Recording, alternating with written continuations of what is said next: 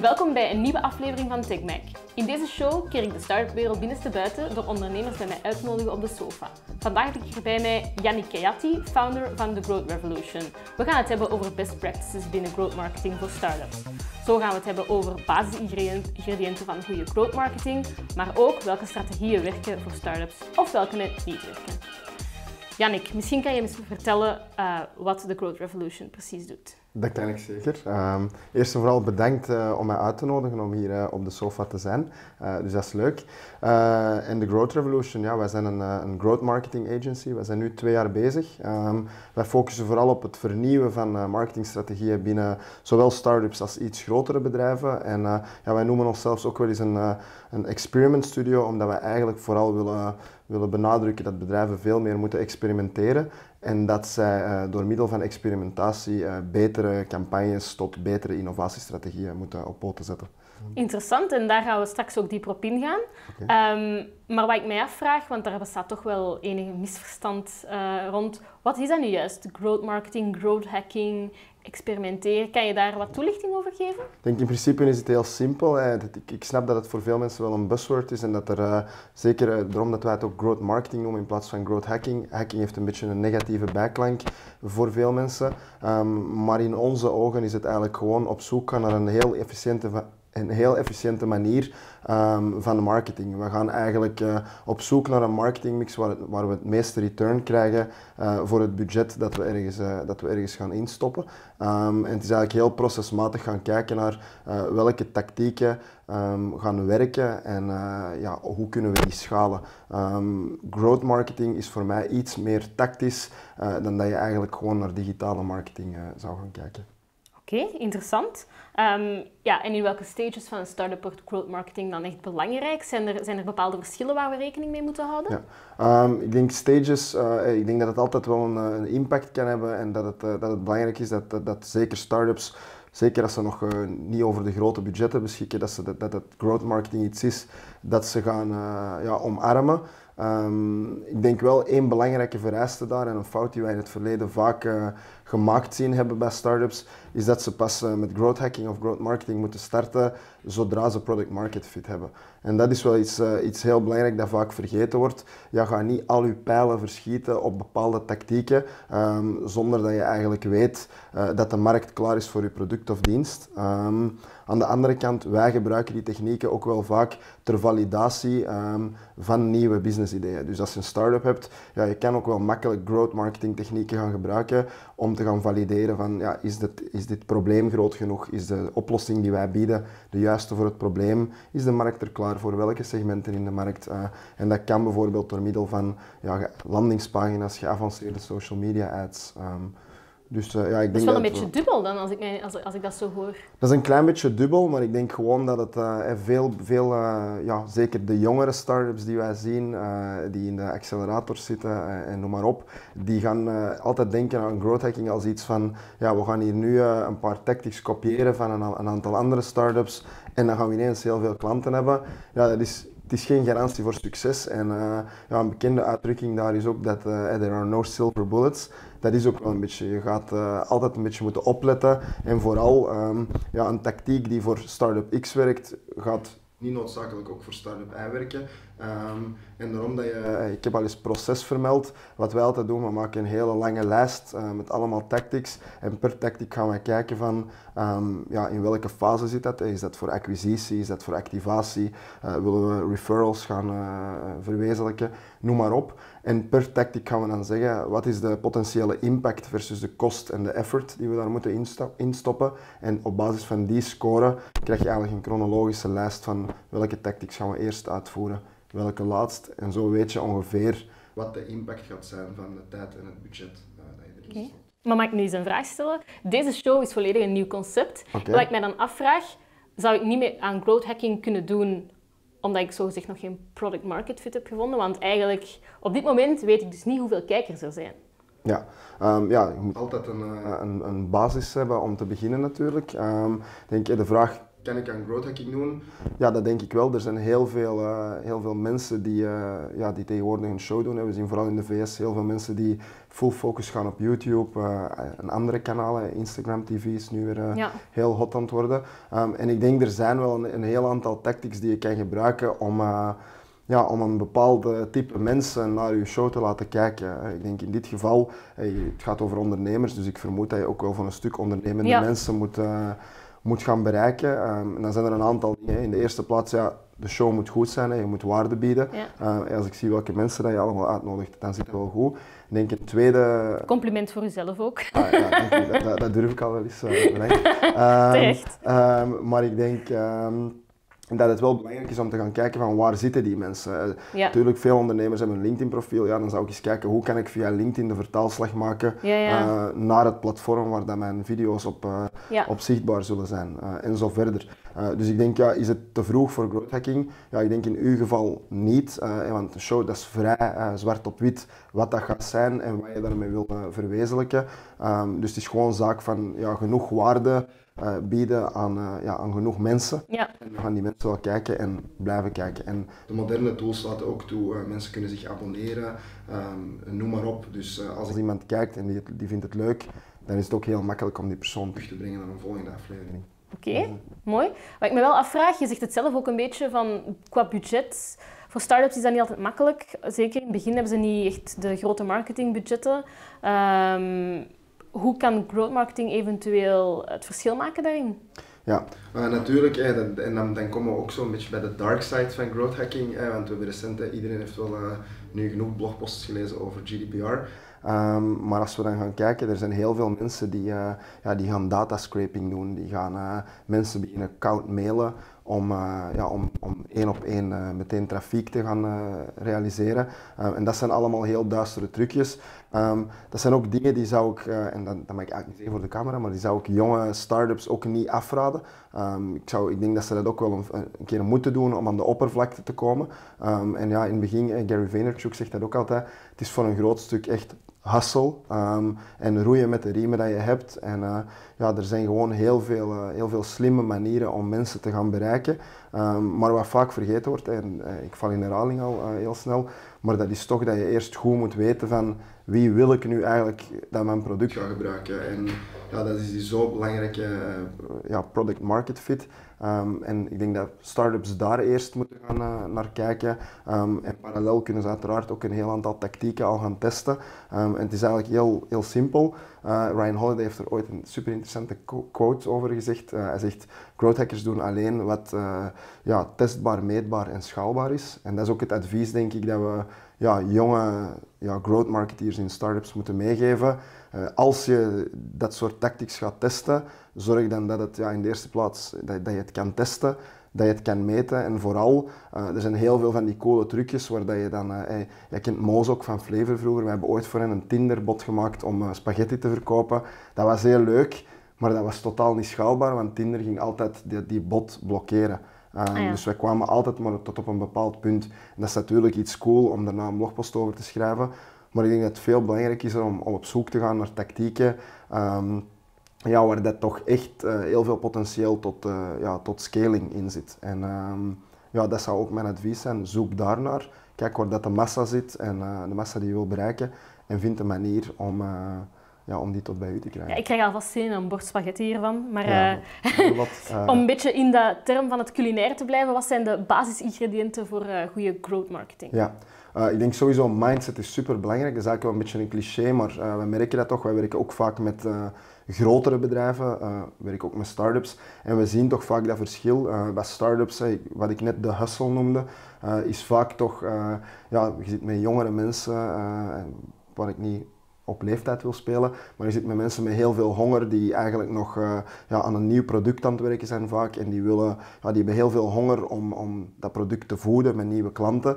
Terwijl dat je ziet bij, uh, ja, bij de grotere bedrijven uh, moeten wij soms landingspagina's gaan aanmaken. Dan moeten wij drie weken wachten op goedkeuring. Ja. Uh, dus die snelheid is wel heel belangrijk. Um, wij testen bijvoorbeeld, uh, we werken in sprints en we gaan altijd gedurende twee weken bepaalde tactieken testen. Um, werken die, uh, wij, wij, koppelen er natuurlijk een assumptie en een hypothese aan, werken die tactieken, dan gaan we die proberen te schalen. Werken die niet, ja, dan gaan we die weer opbergen. Dus dat is bijvoorbeeld iets heel belangrijk. Als we naar andere ingrediënten kijken, ja, ik denk, je hebt sowieso goede marketeers nodig, technische marketeers, technische marketeers die idealiter ook wel iets van data kennen en weten hoe ze data moeten in interpreteren en vooral kunnen vertalen naar naar goede learnings om uh, een product beter te maken, om een, uh, een ander segment in de markt te gaan, uh, te gaan bereiken, noem maar op. Dus ik denk ja, goede, goed geskilde mensen, wat wij T-shaped marketeers noemen, um, die heel breed zijn, maar toch ook expertise hebben. en vooral mindset. Mindset is super belangrijk. en creativiteit ook al. Ja, Oké, okay. en heb je dan voorbeelden of cases van goede growth marketing strategieën die hebben gewerkt? Um, strategie, ja, het is vaak ook heel tactisch. Hè. We kennen allemaal de voorbeeldjes van Dropbox, Airbnb. Die, ja. Uh, ja dat zijn zo de clichés. Um, als we kijken naar... Uh, kan je die misschien nog eens even toelichten? Ja, graag. Die? Um, bijvoorbeeld Dropbox, dat waren een van de eerste die een referral-programma hebben opgezet. je ging eigenlijk als Dropbox-user kon je vrienden uitnodigen of, of zakenrelaties. Um, en voor elke persoon die uh, op jouw uitnodiging een account aanmaakte, kreeg je 500, uh, 500 megabyte extra opslagruimte met een maximum van uh, 16 gigabyte. Ja. Dus voor Dropbox, ja, als jij 32 nieuwe leden aanbracht, nieuwe klanten voor Dropbox, kreeg je eigenlijk 16 gigabyte opslagruimte. Um, ja, nu is dat belachelijk weinig, toen was dat heel veel. Um, het coole daaraan is dat de prijs van online opslagruimte die gaat elk jaar ongeveer halveren. Um, en 16 gigabyte kostte toen, laten we zeggen, 50 euro, 50 dollar. En het leuke is dat zij eigenlijk iets gingen weggeven van 50 dollar. Maar ze wisten, door hun data goed te interpreteren, wisten ze dat mensen die 16 gigabyte gemiddeld ongeveer over 14 maanden gingen verspreiden, uh, gingen opgebruiken, ja. sorry. Um, maar dan wisten ze ook, uh, ja, dat duurt 14 maanden, prijs van online opslagruimte halveert elk jaar. Um, dus we geven iets weg van 50 dollar, dat eigenlijk maar 20 dollar is, waardoor de acquisitiekost super laag okay. was. En dat vind ik echt een, uh, ja, een heel goed voorbeeld van hoe dat het moet.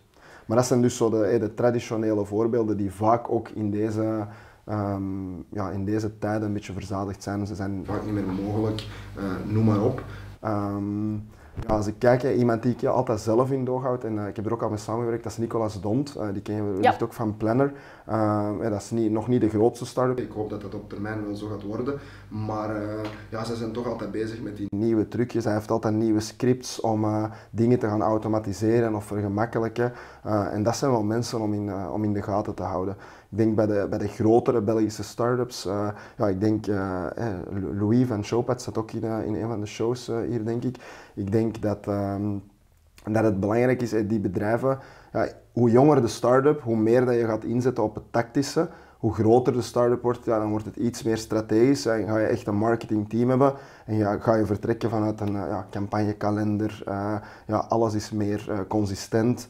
Um, en ik denk dat dat ook beter is. Maar um, ja, daarom denk ik dat het ook goed is, zodra dat je iets groter wordt en je marketing staat op, op punt uh, eigenlijk, ja, dan is het denk ik handig om toch iemand verantwoordelijk te maken om te blijven experimenteren. En op een, tegen een vaste frequentie ook gewoon experimenten te blijven draaien. Dat is ook iets dat wij als agency bedrijven heel erg proberen ja, erin, te, erin te drukken, zal ik maar zeggen. En wij, wij pushen dat wel, dat ze echt gaan experimenteren en dat daar ook iemand dedicated mee bezig is. Um, want experimentatie is denk ik gewoon de, ja, de beste basis om uh, aan innovatie te doen. Um, en je ziet dat in Amerika ook al veel. Hè. De, zeker bij de grotere bedrijven is er echt een nieuwe rol aan het ontstaan, de Head of Experimentation. En dat ja. is wel iets, daar kunnen wij hier wel van leren. Uh, ja. Ik denk dat dat ook een supercoole functie is om, uh, om te hebben trouwens. Um, dus ja. ja. Kan je die functie van zo'n head of experimentation, als iemand die dan zogezegd rapporteert aan de growth manager, kan je daarover uh, wat meer over uh, vertellen? Ja. Um, ja, dat die rapporteert aan de growth manager, dat, dat, dat zal van bedrijf tot bedrijf afhangen. Ik denk, de basis is, uh, ja, die persoon moet met nieuwe initiatieven komen om te experimenteren. Ik denk één belangrijk detail is daar dat bij growth marketing en al die en experimentatie, dat iedereen altijd aan marketing denkt. Ja. Ik denk net dat het belangrijk is dat een head of experimentation, dat die doorheen verschillende departementen kan gaan. Um, we hebben bijvoorbeeld klanten gehad die heel veel um, ja, hoe zal ik zeggen, die hun recrutering stond bijvoorbeeld niet op punt, dan denk ik dat het echt heel belangrijk is dat daar een head experimentation, dat die experimenten gaat draaien om bepaalde om bepaalde stukken of domeinen uit die recrutering op punten gaat zetten. Of, of in die HR-afdeling dat die gaat kijken van oei, we hebben weinig inflow, wat kunnen we gaan doen, welke experimenten kunnen we opzetten om meer instroom te krijgen. Ehm, veel mensen haken misschien in het salesproces bijvoorbeeld af bij het wachten op een offerte. Ah, ja, Wat kunnen we daar gaan doen? Um, en ik denk dat dat wel iets heel belangrijk is. Dus uh, wat een growth marketeer echt zo op creativiteit, technische skills en ja, data uh, gaat, uh, gaat broeden, denk ik dat het belangrijk is dat een, een, ja, een head of experimentation, creativiteit is heel belangrijk, maar ik denk ook proces. En daar ligt denk ik net de uitdaging heel vaak, dat uh, dat, dat nu net twee dingen zijn die heel moeilijk uh, met elkaar ja, te connecten zijn. Um, maar ik, ik, zie daar wel een gigantisch potentieel. Naast, uh, naast exper experimenteren heb je het ook vaker inderdaad over data, hè? Uh, big data. We kunnen er ook niet meer aan ontsnappen. Het is echt een must om daarop af te gaan. Natuurlijk, als prille start-up, je, hebt nog niet, zit nog niet op een, op een schatkist van, van big data. Um, is het dan een, een, goede reden om voor growth marketing als start-up meer op het buikgevoel te spelen? Of is dat net waar het niet gaat werken? Ja. Uh, ik denk dat je zo altijd moet gaan tussen, allee, dat is mijn persoonlijke mening. Um, wij gaan pro altijd proberen te zoeken naar data, dat wordt, dat wordt ook wel een klein beetje overdreven in, mijn, uh, in mijn ogen, maar dat is natuurlijk wel belangrijk. Um, je hebt het, uh, het buikgevoel zit ergens en je hebt het uh, harde feiten die uit data komen. Ik denk dat je zeker als startende start-up daar ja, de sweet spot moet ja. gaan zoeken tussen die twee. En dat het, uh, dat het vooral heel belangrijk is dat je je data vanaf dag 1 goed gaat uh, ja, verzamelen en structureren. De data bij het woord voeren. Ja, de data bij het woord voeren, dat is een, hele goede. Die laten we op een tegeltje drukken op de muur. Um, dus dat is wel een hele goede, maar ik denk dat het vooral belangrijk is, hey, want de vraag kwam ze hebben weinig data startups. Ik denk dat het vooral heel belangrijk is om die weinige data vanaf dag 1 heel goed te ordenen. Ja. Um, er zijn heel veel goede tools en, en, dashboards dat dat tegenwoordig doen. Google Data Studio bijvoorbeeld ja. is daar eigenlijk heel makkelijk in. Clipfolio okay. is zo'n tool dat je eigenlijk allemaal pre-gedefinieerde recepten hebt om je data ergens uh, te laten opslaan. Ja. En vaak te visualiseren. En ik denk dat het ook belangrijk is als je eh, growth marketing, vaak is er dan een, een weekly of een bi-weekly growth meeting. Ik denk dat daar sowieso altijd een stukje moet inzitten waarin dat naar die data gekeken wordt. En vooral, ja, data is één ding, maar vooral de impact van alles wat je doet, of van individuele dingen dat je doet op die data. En dat kan gaan van, we hebben een blogpost geschreven, hoeveel mensen hebben onze website bezocht vanuit die blogpost, uh, of noem maar op. Uh, maar dat kan ook heel ver gaan van, um, nou, zeker als startende start-up, uh, in bepaalde segmenten. We zien dat er uh, ja, uit duizend mensen die naar ons product komen, dat daar heel onverwacht 300 mensen uit een bepaalde industrie zijn dat we niet verwacht hadden. En dat kan ook een learning zijn om dan daarna zeg maar, iets landingspagina's te gaan maken voor, specifiek voor die, ja. voor die mensen. Um, dus ik denk dat het, dat, dat, dat het wel samenvat. Zijn er ook bepaalde misverstanden waar start-ups zich aan kunnen uh, schuldig maken als het gaat over growth marketing? Ja, uh, ik, ben, ik ben zelf niet uh, ja, de, de grootste heilige, denk ik, op dat vlak. Maar ik denk dat het, dat wel belangrijk is dat je, zeker met GDPR, dat je voorzichtig bent met de data die je enerzijds verzamelt, maar vooral ook wat je ermee doet nu. En ik denk dat dat wel een, een grote valkuil is voor, uh, voor startende bedrijven. Dat ze misschien fouten gaan maken en dat ze ja, onrechtmatige data of onrechtmatig verkregen data, beter gezegd, dat ze daar uh, ja, dingen mee gaan doen voor marketingdoeleinden dat hun zuur kunnen opbreken. Ja. Um, dus dat is wel een advies van let daarmee op. Um, maar ook weer ja, zoek die sweet spot, want dat is wel een heel goede manier om in het begin tractie te krijgen. Um, dus ja valkuilen. Um, ik denk dat dat voor elke start-up een beetje verschillend is. Oké. Okay. Oké. Okay. En zeg, als je zegt van, ik ben daar geen heilige in, uh, ik vraag me dan natuurlijk ook wel af, de Growth Revolution, zelf ook nog een, een jong bedrijf, hoe doe je de growth marketing voor je eigen start-up? Heel, uh, heel, uiteen, heel uiteenlopend. Ze zeggen altijd, wat je voor een ander doet, doet je, doet je beter. uh, dat is ook bij ons zo. we hebben in het begin heel weinig focus gehad op onze eigen growth marketing, want ja, we moesten gewoon sales doen en dat kwam um, van alle hoeken uit netwerken, maar uh, op een bepaald punt moet je inderdaad wel je als bedrijf gaan, uh, gaan positioneren in een markt. Uh, we zien ook dat er meer growth marketing spelers komen, wat, ja, wat natuurlijk goed is. Um, hoe hebben wij dat gedaan? In het begin bijvoorbeeld, iets dat heel succesvol is geweest. Um, dan zijn we eigenlijk landingspagina's gaan maken per industrie. hebben wij gezegd, wij wilden heel graag growth marketing workshops verkopen, omdat wij zagen, altijd als we bij een bedrijf zo'n workshop doen, komt daar vaak toch een project uit. Um, Dan zijn uh, landingspagina's gaan maken, growth, growth marketing workshop voor banking bijvoorbeeld, of voor uh, healthcare, noem maar op. Ah, en dan zijn wij op LinkedIn, uh, ja, zal, ondertussen is dat al old school zoiets, maar dan zijn wij op LinkedIn met DuckSoup echt heel tactisch mensen hun e-mailadressen er gaan uitscrapen van bijvoorbeeld allemaal marketingmanager of, of, of VP's bij banken. Um, en dan kon je in de tijd kon je die nog in Facebook steken en daar advertenties op draaien. En daar hebben wij in het begin wel heel veel business mee, mee gehaald. Maar je ziet ook wel dat het echt moeilijker en moeilijker wordt. En uh, ja, Facebook uh, die zijn het open web een beetje aan het dichtduwen. En uh, ja, ik denk de andere platformen doen dat ook meer en meer. Dus je moet altijd toch maar creatiever blijven en on top van, van die nieuwe ontwikkelingen ja. om dat, dat soort zaken te gaan realiseren. Ik kan me perfect voorstellen, het, het verandert ook allemaal. En, en zeker ja. voor start-ups nu met al die nieuwe dingen wat is jouw ervaring in het vinden van bepaalde traction channels voor startups die werken? Uh, zijn er dingen die onze kijkers zeker moeten weten? Ik denk, ja, er is zo'n heel goed boekje, Steal Like an Artist. Uh, ik denk dat dat wel hier uh, van toepassing is. En het warm water kunnen ervan uitgaan dat dat al wel uitgevonden is. Um, kijkend naar basisdingen uh, raad ik mensen aan om ja, kijk op platformen als growthhackers.com, Growth van, van HubSpot bijvoorbeeld. er zijn een heel aantal heel goede Facebook communities zoals Badass Marketers en Founders, waar heel tactische dingen gepost worden waar dat je daarmee aan de slag kan. En het goede is ook, en dat, dat weet ik ook wel uit ervaring, um, hoe meer dat je ook daarmee bezig bent, hoe meer ideeën dat je zelf gaat krijgen van, ah ja, ik heb dat nu geautomatiseerd en daar kan je mensen gaan uittrekken.